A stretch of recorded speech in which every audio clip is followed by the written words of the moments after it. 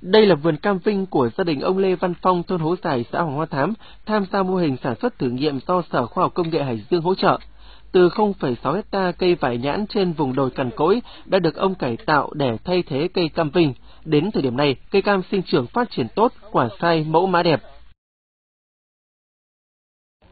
Vâng, trước đây thì à, nhà tôi trồng vải, trồng vải thì cũng nhiều năm lắm rồi, chứ mà cũng vất vả lắm. Thu hoạch thì cũng có làm được làm không cho nên là tôi uh, cũng đi tham quan và đi tìm hiểu một vài thô lơi kết hợp với lại cái ờ, dự án và cái uh, về cái cây cam vinh. Là về là tôi chặt hết vải luôn. Tôi trồng cam vinh thì cam vinh của nhà tôi sang năm thứ hai đấy là tôi để hoa. Tôi để hoa để thử uh, điểm xem như nào. Nhưng mà một trăm phần trăm là ra hoa hết. Thế nhưng mà tôi sợ tôi là là bỏ hết hoa để tôi chỉ uh, hình thức là để uh, tôi nuôi cây là chính năm nay sang năm thứ ba mới được có hai tháng thôi. Thế tôi để quả thì đến bây giờ là là tôi để khoảng hai, ba chục phần trăm thôi. Thế bây giờ tôi để quả rất chi là đẹp. Thế là bây giờ thương lái bắt đầu là là đến cắt. Thế đến cắt thì nhà tôi năm nay dự định à, hai, ba chục phần trăm nhưng cũng phải, là cũng được khoảng hai tấn. Mô hình sản xuất thử giống cam V2 do Viện Nghiên cứu rau quả nhân giống đưa về trồng ở vùng đất đồi xã Hoàng Hoa Thám triển khai từ năm 2015 với tổng diện tích ban đầu 2 hecta tại thôn Hố Sải và thôn Thanh Mai. Các hộ tham gia mô hình ngoài được hỗ trợ mua giống cây và một phần kinh phí mua vật tư phân bón, các hộ còn được cán bộ kỹ sư nông nghiệp của Trung tâm ứng dụng tiến bộ khoa học tỉnh trực tiếp hướng dẫn tư vấn chuyển giao khoa học kỹ thuật thâm canh cây cam vinh.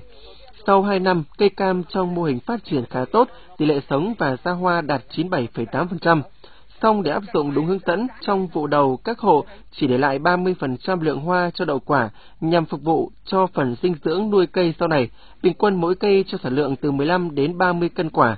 Quả to với trọng lượng trung bình 250 g, mẫu mã đẹp, đáp ứng tốt nhu cầu thị trường. Với giá bán hiện nay từ 25 đến 30 000 đồng một kg, nhiều hộ thu nhập hàng chục triệu đồng. Đến thời điểm này, ngoài diện tích được hỗ trợ, nhiều hộ dân xã Hoàng Hoa Thám còn mở rộng trồng cam vinh lên 6 hecta cho hiệu quả kinh tế cao. Tuy nhiên, bên cạnh ưu điểm về hiệu quả kinh tế thì theo các nhà chuyên môn cho biết, phần lớn diện tích cây cam vinh trong mô hình được trồng trên sườn đồi nên các nhà vườn chủ động hơn trong chăm sóc, bơm nước tưới dưỡng mùa khô, kết hợp với đầu tư chăm sóc bổ sung chất dinh dưỡng cho cây thời kỳ ra hoa đậu quả, qua đó góp phần quyết định năng suất, sản lượng vườn cam. Ừ, trước kia thì à, anh em tôi cũng trồng à, vải. Thế sau đó là coi như là cây cây vải thì nó thất thu nó cũng, giá cả nó bấp bênh. Thị trường nó ép giá rồi nó cũng không có cái đầu ra được như các cái thứ khác. Thế sau khi đi tham quan các cái mô hình về trồng cam ở hưng yên rồi là bắc giang hòa bình thì chúng tôi thấy coi như họ thu hoạch cũng năng suất. Thế anh em tôi cũng đưa về trồng thử. Thế mỗi anh em vài trăm cây. Thế trồng ở trên cái đất đồi cằn này thì nói chung là khi phá vải đi thì nó cũng khô thế thì anh em tôi cũng khắc phục và coi như là đào giếng rồi là khoan giếng. Thế sau khi coi như là tưới thì mình thấy cái cây nó lại rất hợp lý mà nó lại đẹp hơn ở các cái khu vùng trũng của đồng bằng. Cũng là quả là rất là sai mà quả to ăn chất lượng là đượm. Ở trong thời gian tới thì à, địa phương tiếp tục có chủ trương khuyến cáo tới bà con nhân dân à, tổng hợp và cũng như là giả sát những cái diện tích vườn đồi trồng vải thế rồi là cái cây tạp cho cái thu nhập thấp sẽ chuyển sang cái ờ, cây cam vinh để cho cái giá trị ờ, thu nhập và kinh tế là cao hơn.